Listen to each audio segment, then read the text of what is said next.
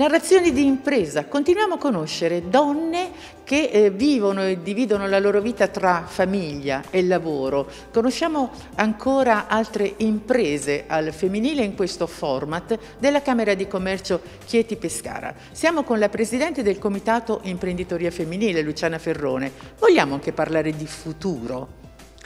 Un futuro concreto, un futuro di concretezza. La donna è concretezza e per questo anno nuovo stiamo elaborando tutto quello che è il Mise, tutto quello che il governo ha messo a disposizione per l'imprenditoria in genere e per quella femminile in particolare.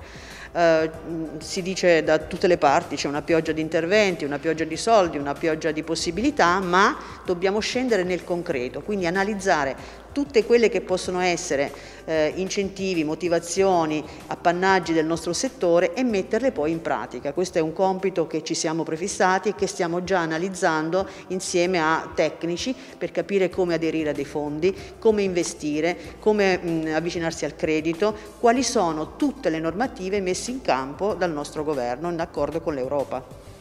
Quindi per fare impresa ci vuole cuore, ma ci vuole anche un'idea chiara sul futuro e il Comitato ha le idee chiare per dove andare ad attingere i fondi, per come dare supporto alle imprese cosiddette in rosa. Conosciamo altre due amiche.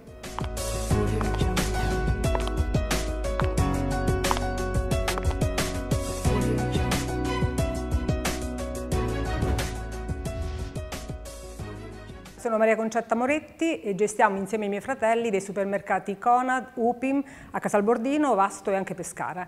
Io e mia sorella siamo rimasti nel, nella sede storica gestendo appunto un punto vendita Conad di 1300 metri quadri e una, uno store Upim. E ehm, mia, diciamo che la mia storia inizia nel lontano, diciamo da quando sono nata, perché i miei genitori erano dei commercianti e nel 1953 hanno iniziato la loro attività con una piccola merceria. Successivamente hanno aperto un negozio di abbigliamento, poi elettrodomestici, giocattoli, fino ad arrivare nel 1974 al primo, ad avere il primo contatto con la GDO e quindi con un punto vendita AEO. Io e i miei fratelli siamo sempre stati nel negozio, quindi abbiamo vissuto, abbiamo respirato quest'area del commercio e soprattutto vivendo l'evoluzione che questo settore ha avuto fino, fino, ai giorni di oggi, perché prima il nostro era un lavoro in cui eh, ci si prestava, eh, cioè praticamente quando veniva approcciato dai ragazzi che eh, magari non andando bene a scuola venivano a chiedere se potevano fare la commessa o il commesso durante cioè, i nostri negozi. Adesso i ragazzi che partecipano e sono i nostri collaboratori sono ragazzi che almeno hanno un diploma perché il nostro appunto questo lavoro è migliorato ed è evoluto in modo, in modo molto, eh, eh cioè molto, molto, continuo. E, ehm, concetti come la responsabilità sociale di impresa, la sostenibilità ambientale che fino a qualche anno fa non venivano nemmeno considerati adesso diventano valori fondanti della nostra missione e noi vivendo appunto questa realtà abbiamo eh, vissuto questa trasformazione in modo proprio pieno. E, ehm, io ripeto, posso dire di essere nata nel negozio, ho sempre respirato quest'area, vivendo questa, con la mia famiglia questa attività ho sempre condiviso con loro la, ehm, la, collaborazione e la condivisione degli impegni, dei compiti e anche delle nostre responsabilità e con questa forma mentale diciamo, sono riuscita ad educare anche la mia famiglia. Infatti miei, cioè, mio figlio ha sempre vissuto e ha condiviso questi, questi momenti permettendomi così di vivere appieno questa attività e, di, ehm, di, e cogliendo anche le opportunità che nel percorso in questi anni mi sono, mi sono, state offerte. Infatti sono entrata nel CDA di Conad Adriatico, successivamente sono diventata presidente di Conad Adriatico e quindi mi sono trovata nel Consiglio del Nazionale eh, vivendo un'esperienza magnifica, ma, ma, proprio a coronamento della mia attività e poi anche, attualmente faccio parte dell'ANC di sempre di Conad. Questo mi consente di essere sempre nel pieno dell'innovazione e della trasformazione per esempio degli usi, dei, dei, dei consumi, essere vicini insomma, a tutti i consumatori.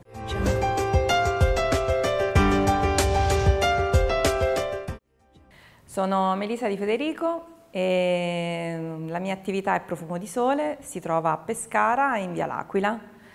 È una, un ristobar vegetale, è stato impostato come attività esclusivamente vegetale proprio perché avevo voglia di riavvicinarmi al mio tessuto familiare, alle mie origini, a quello che mi hanno insegnato insomma, quando, ero, quando ero bambina, quando mio nonno mi portava in campagna a farmi vedere che cosa significa il lavoro della terra.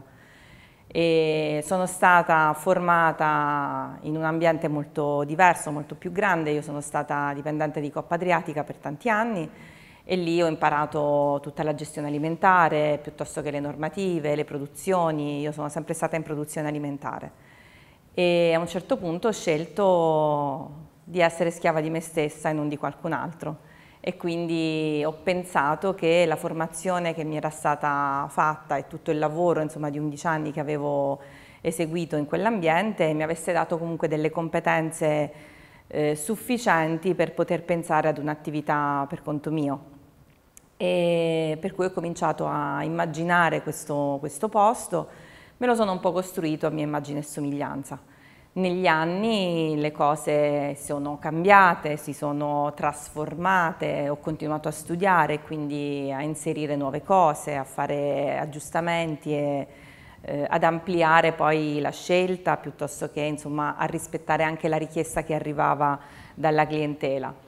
La nostra clientela è onnivora per uh, il 90%, e, e, questo ci ha dato modo di avere maggiori soddisfazioni perché accontentare, tra virgolette, un pubblico vegano, vegetariano sarebbe stato per noi abbastanza facile perché comunque questo proponiamo e invece accontentare chi eh, dieci anni fa non conosceva granché di questo mondo è stata una bella sfida. Poi siamo in Abruzzo, quindi carne, arrosticini e quant'altro ci hanno messo a dura prova negli anni ovviamente. E a settembre saranno dieci anni, quindi questa, questa scommessa un pezzettino alla volta la sto vincendo, insomma.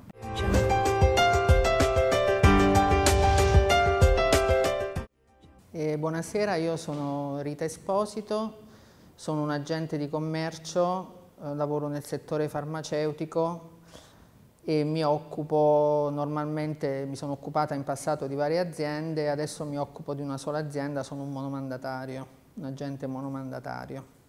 La mia zona operativa è tutto l'Abruzzo, fino più le tre province delle Marche, arrivo fino alla provincia di Macerata, quindi il mio ultimo posto è Porto Recanati. Io ho lavorato tanti anni in negozio prima, eh, non in farmacia, io facevo l'abbigliamento, nasco come agente d'abbigliamento, mi sono trasferita in questo settore nel 92. Eh, ho scelto questo lavoro per la libertà, per la libertà e l'autogestione. Il cliente lo gestisco, gestisco la, i miei appuntamenti, gestisco tutto io.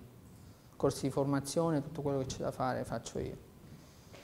La cosa più brutta che ho visto, assolutamente la più terribile, è stata un, un salto di corsia di un camion e io